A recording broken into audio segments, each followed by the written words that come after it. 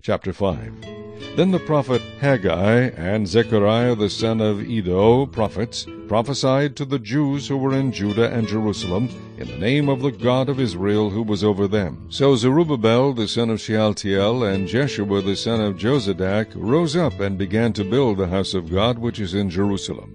And the prophets of God were with them, helping them. At the same time, Tattenai, the governor of the region beyond the river, and Shethar-boznai and their companions came to them and spoke thus to them, Who has commanded you to build this temple and finish this wall?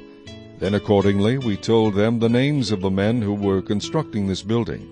But the eye of their God was upon the elders of the Jews, so that they could not make them cease till a report could go to Darius. Then a written answer was returned concerning this matter. This is a copy of the letter that Tattenai sent. The governor of the region beyond the river, and Shethar-boznai and his companions, the Persians who were in the region beyond the river, to Darius the king.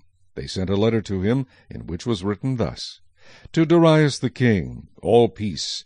Let it be known to the king that we went into the province of Judea, to the temple of the great God, which is being built with heavy stones, and timber is being laid in the walls, and this work goes on diligently and prospers in their hands.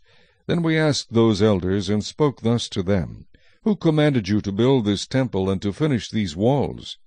We also asked them their names to inform you, that we might write the names of the men who were chief among them.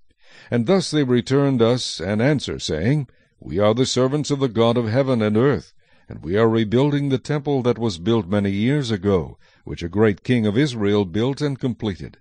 But because our fathers provoked the God of heaven to wrath, he gave them into the hand of Nebuchadnezzar king of Babylon, the Chaldean, who destroyed this temple and carried the people away to Babylon. However, in the first year of Cyrus king of Babylon, King Cyrus issued a decree to build this house of God.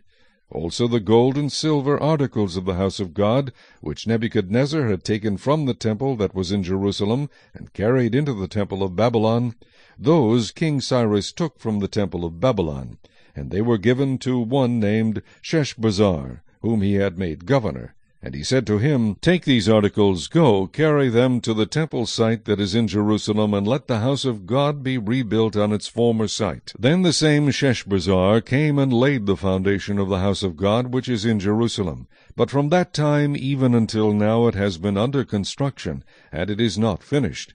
Now therefore, if it seems good to the king, let a search be made in the king's treasure house, which is there in Babylon, whether it is so that a decree was issued by King Cyrus to build this house of God at Jerusalem. And let the king send us his pleasure concerning this matter.